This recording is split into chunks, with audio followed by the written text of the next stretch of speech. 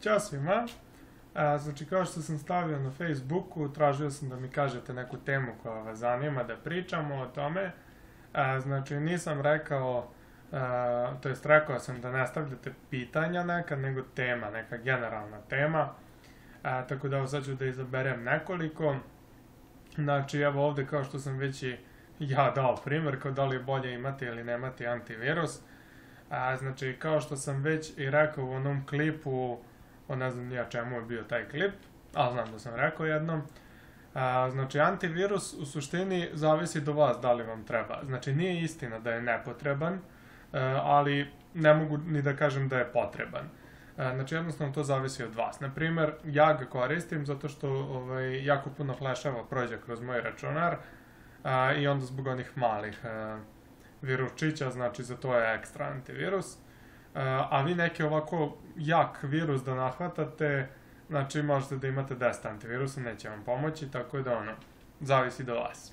Onda evo dalje, kaže nešto o overclocku. A, znači, naravno, neću sad da pokazujem kako se to radi, a ne vjerujem da ću ikada i pokazivati overclock. A, zašto? Zato što tu ima puno stvari koje mogu da se zeznu, tako da jednostavno ne želim da snosim ja neku krivicu. A, znači, da li je dobro raditi overclock? Dobro je ako su dobri uslovi. Na primer, a, vi ako imate neki stariji računar, onda se clock nikako ne isplati, zašto jednostavno vi ćete da dobijete to ubrzanje a, e, koje je ono totalno nebitno, znači nećete uopšte da osetite.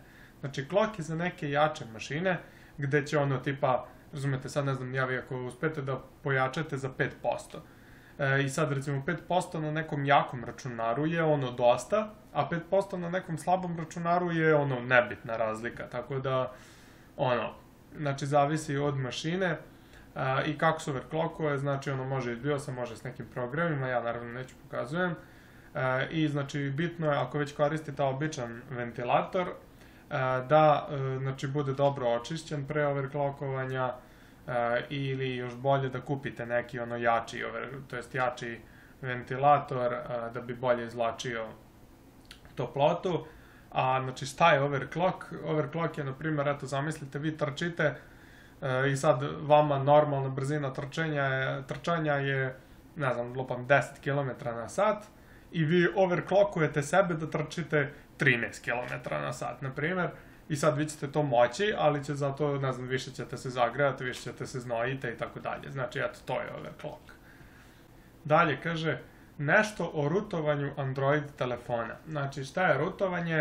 Uh, znači, o to može da se kaže jako lako. Uh, znači, jednostavno, rutovanje, vi dobijate totalnu kontrolu nad vašim Android telefonom. Uh, ekvivalent za iPhone je jailbreak, A, I znači šta je uopšte to rutovanje i jailbreakovanje, znači jednostavno eto, totalna kontrola nad, računa, nad telefonom ili čime god u stvari, može bude tablet. E, znači, šta da obijate, recimo, rutovanje, možete da overclockujete, možete ovo ono. Najjednostavnije rečeno, eto. Onda idemo dalje. Kaže, da li je pametno upisati neki fakultet vezan za računare? E, pa sad, trenutno, je zapravo jedini fakultet koji ima smisla upisati je za računare. Zato što e, vi pogledate recimo neko ko upiše ekonomski, pogledajte koliko ima ekonomista bez posla, a, dok recimo informatičari su uvek u potražnji. Znači ono idete na neki bilo koji sajt za zapošljavanje i ono vidjet ćete da su potrebni uglavnom neki prodavci i informatičari. A, s tim što najbolje prolaze programeri, čak je izašao skoro članak negde, ono kao da programeri ne čekaju ni dan za zapošljenje, e, tako da definitivno je pametno upisati neki fakultet za računare. Onda idemo dalje. Kaže, uopšteno o servisu računara, znači ono kao šta od alata, da li vrede lagati o takav posao i tako dalje. A, znači, ja sam već rekao u onom uh, klipu o alatima, znači rekao sam šta je potrebno za, od alata i tako dalje. E sad, da li se isplati, da li vredi ulagati u to, e, to je jako veliko pitanje. Recimo, e, dobro je biti serviser ono usput. Znači, na primjer, eto kao ja, na primjer, znači ono, ja se bavim servisom računara, ali u isto vreme i nekim drugim stvarima. Znači, vi samo da se bavite time teško, pogotovo čak i servis da otvorite, ono pravi, e, vidio sam ovde recimo u mom gradu, ovaj, već evo u poslednjih nekoliko godina, znači sve manje i manje servisa za računare, tako da očigledno se ne isplati čim ljudi zatvaraju. E, ali, ono, naravno opet zavisi, recimo, od lokacije, od ovoga, od onoga, tako da, e, da li, se, da li vredi ulagati, znači vredi ako je, ako planiraš recimo servis da otvoriš na pravom mestu i tako dalje, ali ono, neki generalni savjet ne postoji.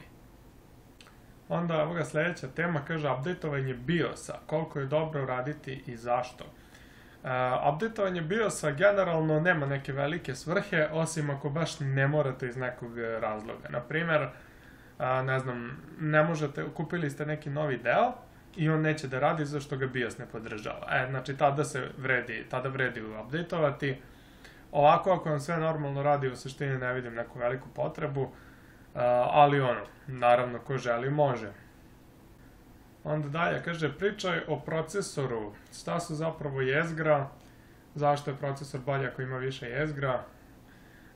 Znači, a, mislim da sam mislim nešto ispominjao o tome u onom klipu, ali nisam siguran, tako da je kazat ću za svaki slučaj. Znači, zašto je bolje imati više jezgra? Kao prvo, šta je jezgro? Znači, eto, da kažemo u najjednostavnijim mogućim crtama, Znači, jezgro to je jednostavno fizički deo računa, to je fizički deo procesora u kome se obavljaju te neke kalkulacije. A, I sad zašto je bolje? Zato što jednostavno znači, može u isto vreme, na primer, evo primer jedan, vi imate da, da saberete uh, 1 plus 1 dva puta. I sad, da li je bolje da vi idete, znači prvo 1 plus 1, pa opet dole 1 plus 1, ili da imate recimo, ne znam, ja ti i još jedan drug i vi u isto vreme saberete 1 plus 1. Eto, znači to je onako najjednostavnije moguće e, objašnjeno. Naravno, pričat ću ja o procesoru mnogo više, e, o, u onom klipu što planiram već dugo vremena, radimo ono vodič kroz hardware, gde ću da idem deo po deo računara i da onako malo detaljnije ispričam o njemu. Pa idemo dalje. Da li je bolje imati laptop ili računar? Uh, ja sam pretpostavljam, pretpostavljam da zapravo želiš da pitaš da li je bolje imati laptop ili desktop, zato što laptop je računar, mislim, tako da ono, vratno sta kažeš laptop ili računar, ovaj, ili desktop. Uh, znači, jednostavno zavisi do tebe. Uh, naprimjer, ti ako ideš, često putuješ, onda laptop. Ako si ono na jednom mestu, onda desktop. Uh, tako da, eto, znači to je najjednostavnije rečeno. Uh, a, recimo, ti ako imaš desktop, a, ti ćeš recimo imati neke prednosti u odnosu na laptop, to jest bit će brži, bit će, znači moći ćeš više igrica da igraš ovo ono, dok je recimo laptop, znači uglavnom za kancelarijsku upotrebu, znači ono, internet, Word, Excel i tako te stvari. A, naravno, ono, možeš ti da igraš igrice na laptopu, ali onda ba to moraš da daš kinte puno. Onda evo ga opet nešto za fakultete, ali kaže, ako je imao Srbije, koliko poena potrebno, šta i kako. Kao prvo, mislim, ne znam odakle ti uopšte pitanje ako ima u Srbiji, naravno da ima i to ne da ima jedan, ima ih koliko hoćeš. E, a koliko je poena potrebno, znači to se nikad ne zna. Znači uvek se pravi rang lista. Znači, možda će jedne godine biti potrebno 100 bodova, možda će jedne godine biti potrebno 50. Znači, jednostavno zavisi uh, ko se prijavi uh, i kakav im bude bio prosek. I eto, znači, to su te neka pitanja koje su bile naravno nisu baš bilo pitanja, nego kažem teme. A, I eto, znači, to je to za sad, pa se vidimo neki drugi put. I to je to.